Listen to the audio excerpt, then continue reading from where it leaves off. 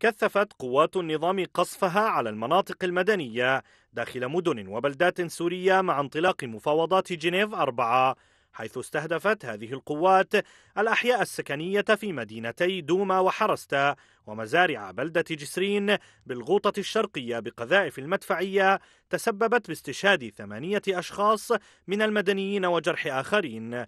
فيما اندلعت اشتباكات عنيفة بين الثوار وعناصر النظام في منطقة التلول الحمر بالريف الغربي وسط قيام المروحيات بإلقاء براميل متفجرة على بلدة بيت جن ومحيطها واستشهد جراء القصف على منطقة التلول الحمر قياديين في جيش الحرمون. في حمص سقط عدد من الشهداء وعشرات الجرحى من المدنيين جراء قيام قوات النظام باستهداف حي الوعر المحاصر بقذائف الدبابات والهاون بينما شن الطيران الحربي غارات جوية على مدينة الرستن وقريتي غرناطة وتيرمعلا وبلدتي تل ذهب والغنطو ما أدى لسقوط جرحى.